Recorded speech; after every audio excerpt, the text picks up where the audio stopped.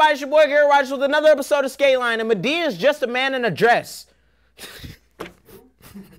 Madea, you ever heard of those black movies where all those people go on a picnic and there's like a whole bunch of problems, and they keep doing it over and over again, and the black community still supports it.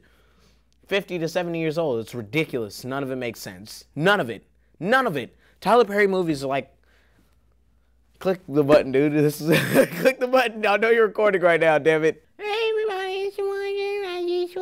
Episode of Skate Line. Hey everybody, it's your boy Garrett Rogers with another episode of Skate Line. And George Bush never won the election. Because then that means like if you played a basketball game and you scored less points than the other team, I don't think you won. I'm almost positive you lost.